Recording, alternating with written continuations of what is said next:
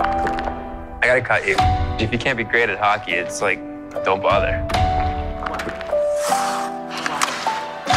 I want you to think about all the other kids who've been told that they're too small or too slow.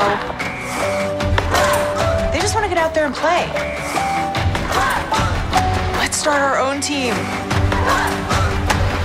All we need is an ice rink. You lost?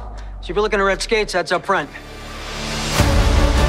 Tell me the underdogs are gonna come through in the end. You gotta make this happen for yourself.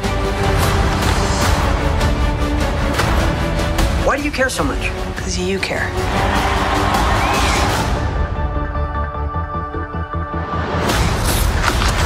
Did you see that? Oh my gosh! Nothing but that net. was crazy. Nothing but net. Pretty sure it's basketball.